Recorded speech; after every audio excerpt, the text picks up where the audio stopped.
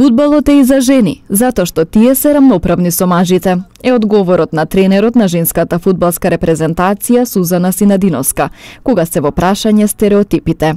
Ведра смејана искрена, пред нашата камера, вели дека за жал во земјава се уште нема еднаквост, особено кога се работи за овој спорт.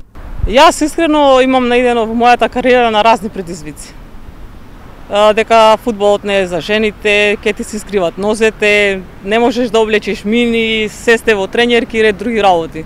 А ние тоа во спротивно им го докажавме дека не е така. Значи тоа јас можам да го докажам и го тврдам значи пред сите дека спортот е исто, како за машки, така и за женски. Во нашава држава мислам дека се уште немаме исти права како што имаат машките. Уште се третираме на пониско ниво за разлика од машкиот фудбал. Мислам дека во другите земји, каде што и одиме секоја година на разни турнири, таму е по застапен женскиот фудбал, па да не речеме некаде може да имаат и рамноправно со мажите во европските клубови. Сега женскиот фудбал напредува и има многу заинтересирани девојчиња за разлика од незините почетоци кога не бил атрактивен. Синадиноска уште како мала во низиното село Рате, наместо кукли одбирала фудбалска топка.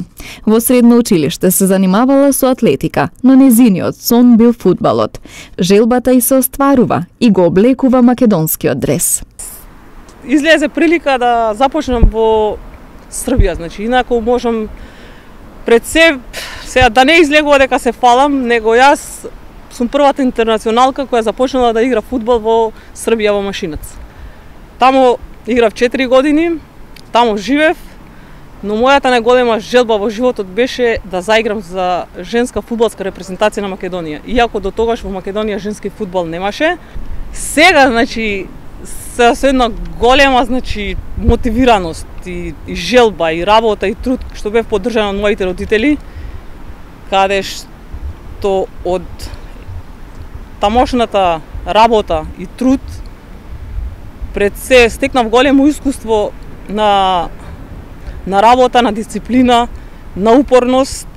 Од тогаш, значи, таа силна храброст ме доведе до тоа што кога се вратив во мојата држава, да има некој си турнир во женски фудбал, мал фудбал на фудбалските школи во Скопје, каде што јас без размислување се приклучив така почна женски фудбал, мал фудбал во Македонија и воедно почетоците почнаа и значи на голем терен, каде што јас бев првиот капитен на женската репрезентација на Македонија.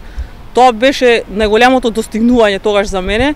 Јас на сите тоа го кажав дека доволно ќе биде во животот да го облечам дресот на репрезентација на Македонија и не мора више да играм фудбал. Тоа ми беше најголемата желба и сатисфакција Синадиновска е лиценциран тренер и годинава е 10-та јубилејна од кариерата како асистент тренер на репрезентација. Желбата е нашата репрезентација да достигне по високо ниво. Кога почнавме, значи, многу луѓе не веруваа во тоа дека ние жените можеме многу да допринесеме, али мислам дека 90%, дајде да не речам 100, се испостави дека напредуваме, имаме многу добри резултати. Јас искрено, значи, додека ме држат нозете, јас ќе се бавам значи со спортот, нема да одустанам никогаш. А, во овие моменти значи исто така подпомагам во фудбалската федерација, работам и со другите репрезентации, значи одам као тим менаџер. Така да плановите се искрено да нашата репрезентација достигне на малку на повисоко ниво, како што моментално има успеси репрезентацијата на Србија. Значи, нашите соседни земји малку повеќе почнаа да не предуваат во репрезентативниот процес, бидејќи има доста фудбалерки кои миграат во иностранство.